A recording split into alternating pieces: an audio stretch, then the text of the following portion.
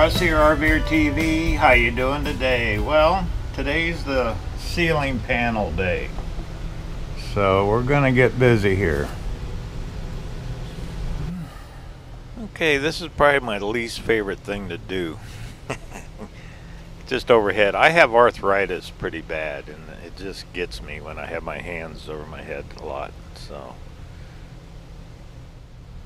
I got all the wires right there put back in there so everything should be good shape.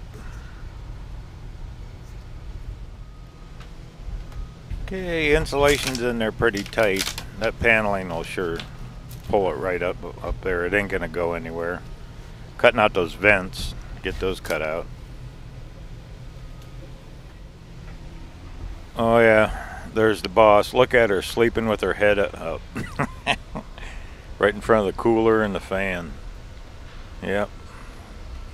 Alright, I'm going to turn this camera off and get cutting. Try to get that first piece up there. And there's the first piece. Got the vent hole cut out, out okay. It's fitting good. I kind of screwed the molding in around the vent opening uh, to hold it. Then I got them two sticks. I think this is going to look pretty good. Uh, over here I put in a 1x2 temporarily to hold the edges up. And uh, that's just temporary for right now. Then I'll put some screws down through there in the metal. Alright, vents looking good. Get some measurements here and uh, get piece number two cut. Stick her up there to see what it looks like. And there's piece number two no cutouts in this one. Blow easier. So it's that looks good I think.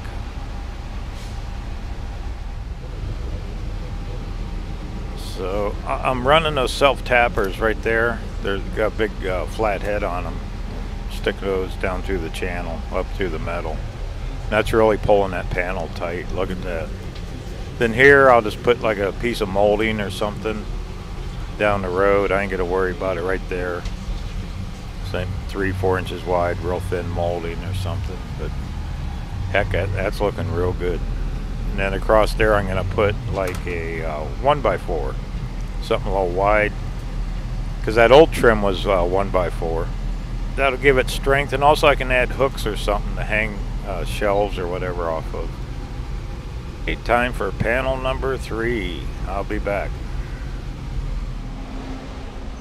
There's number three right there in place. Got the hole cut out for the fantastic fan.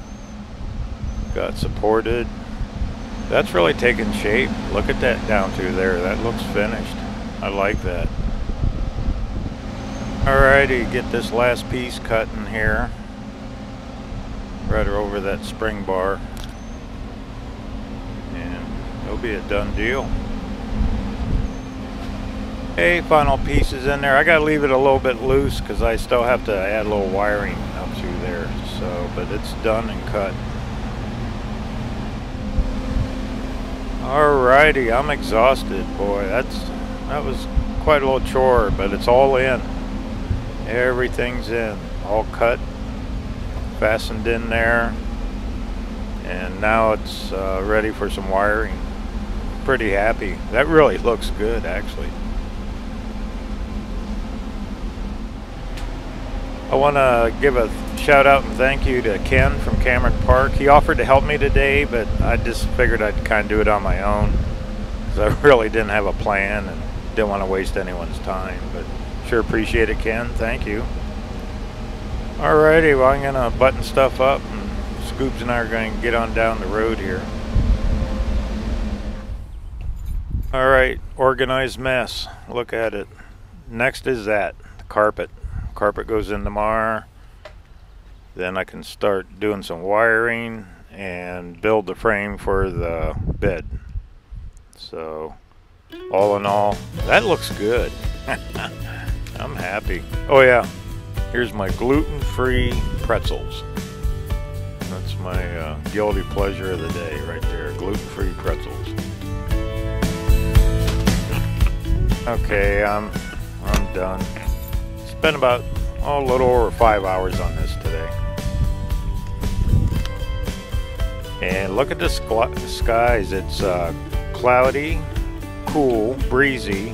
Not really cool. It's in the 80s, but uh, it sure beats the hundreds.